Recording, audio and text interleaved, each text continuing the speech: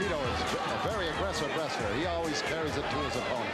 Tito puts everything into every move he makes, Pat. This guy is a professional all the way. Always colorful Tito Santana and always a great competitor. Santana, another fine gentleman, an attribute and an asset to professional wrestling or whatever he may choose to do. Tito Santana joined the WWE in the late 1970s and had early success in the tag team division. But it was as the Intercontinental Champion that Tito cemented his status as one of the favorite performers throughout the United States.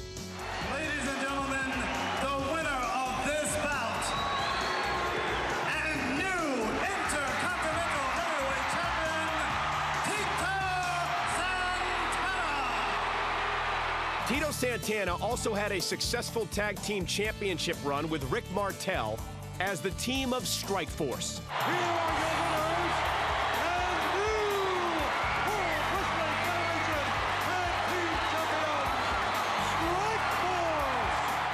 Few superstars have enjoyed the kind of lengthy tenure in the WWE that Tito Santana did. Whether it was in the WWE's regional days in the Northeast, the rock and wrestling era, or the 1990s new generation era, Tito Santana was there.